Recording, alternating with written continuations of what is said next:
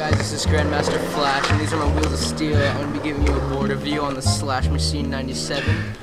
Um, I've got it for about a week, and uh, let's go get some street footage. Here we go.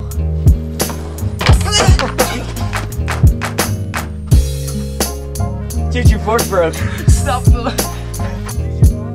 Slash Machine's crap!